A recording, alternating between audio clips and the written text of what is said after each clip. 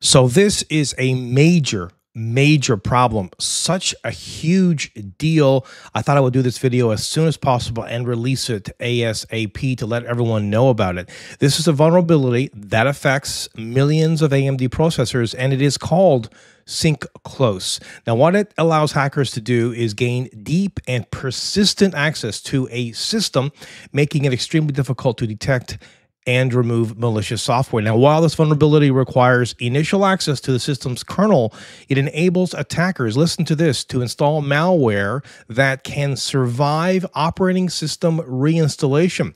AMD apparently is working on patches, but the issue highlights the ongoing challenge of securing complex computer systems. Yes, yes, yes. I've been saying this for years. Something massive is coming, and I think we've it's it's it's finally here because we're seeing hackers, you know, on every level. Like it doesn't matter where you are, if you're physically out there at a payment machine, you know, paying for a product in store, whether you're paying online, whether your computer system is vulnerable, whether your cables, I'm releasing a video soon about HDMI cables that could be compromised. It's all across the board now. So this is this is huge. I mean, wow, this is going to really really put a major kink, I'm sure, in uh, you know AMD's future to be honest, because this affects processors going all the way back to 2006.